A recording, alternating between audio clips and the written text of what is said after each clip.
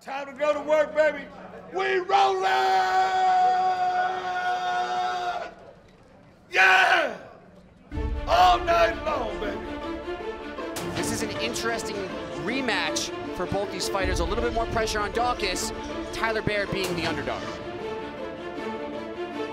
And that's very, very, very tight. Bear's not doing anything to defend it.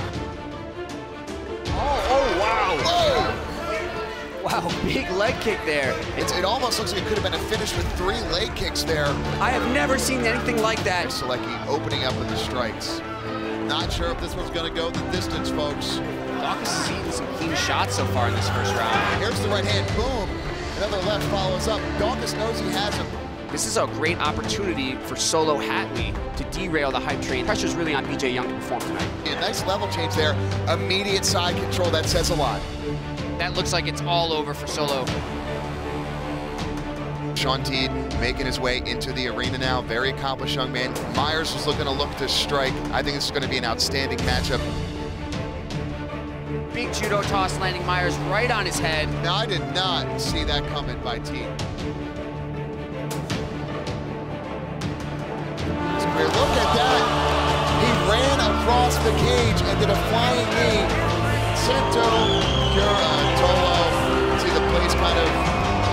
Solid, nice lateral drop throw there.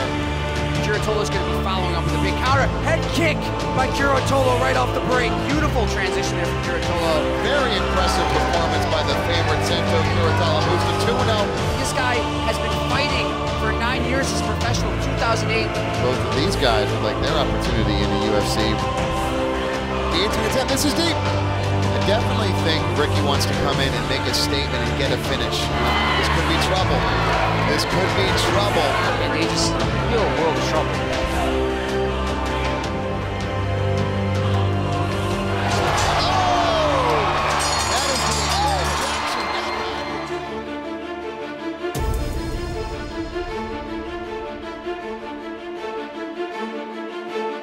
Quesada is one of the largest featherweights, and he has the skills to back it all up. Anywhere this fight goes, he's extremely dangerous. Sabatini has fought some extremely, extremely tough guys, but each one of his opponents has had one weakness, one quality that can be exploited, but Quesada is the total package. He's standing in front of Sabatini.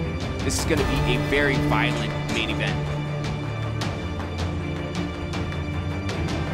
Big shot from Quesada lands right on the ear of the champion found himself underneath the champion who's a black belt in Brazilian Jiu-Jitsu. The tide has turned so quickly in this fight. Well, I'm eating my own words here. I was going to say he's unchokable, but there we go, Sabatini.